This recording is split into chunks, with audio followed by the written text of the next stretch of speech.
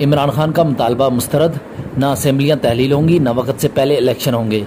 इतिहादी हुकूमत मुद्दत पूरी करेगी। इतिहादी हुकूमत ने अपनी आइनी मदद पूरी करने का बड़ा फैसला कर लिया है। जराई का कहना है कि इतिहादी हुकूमत इस हवाले से तजब का शिकार थी कि या आइनी मदद पूरी की जाए या फिर कबल अज वक्त इंतबात की तरफ़ बढ़ा जाए।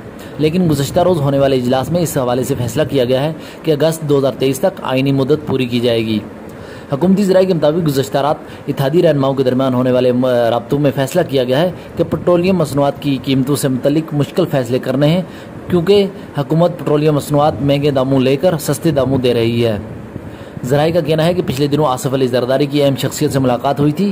अहम शख्सियत से मुलाकात के बाद आसिफ अली जरदारी ने शहबाज शरीफ और मौलाना फजलरहमान से मुलाकातें की थी, जिनमें मुशावरत के बाद हुकूमत की मुद्दत पूरी करने का फैसला किया गया है।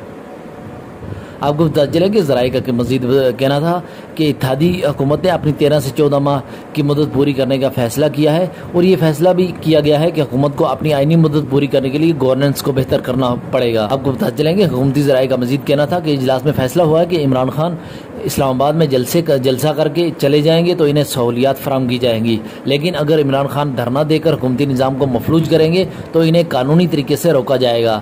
धरने से इस्लामाबाद में निज़ाम ज़िंदगी मुतासर हुआ तो कानून हरकत में आएगा। आपको बता चले कि चेयरमैन तहरीक इंसाफ इमरान खान ने 25 मार्च को इस्लामाबाद की जानब लॉन्ग मार्च करने का ऐलान कर दिया है, और इनका मुतालबा है कि हम हुकूमत का ख़ात्मा और फौरी इंतबात चाहते हैं।